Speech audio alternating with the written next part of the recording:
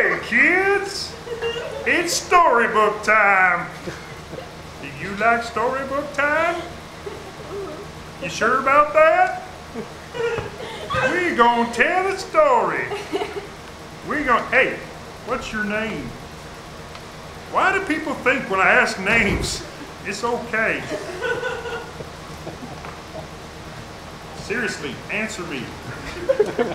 I'm a book. I can't hurt you. I lack arms. Books are. Are you, you speak of the English? We're going to tell a story.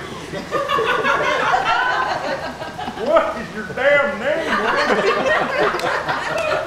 God damn, ain't like I'm trying to get your phone number or something. I just want you to help me tell a story.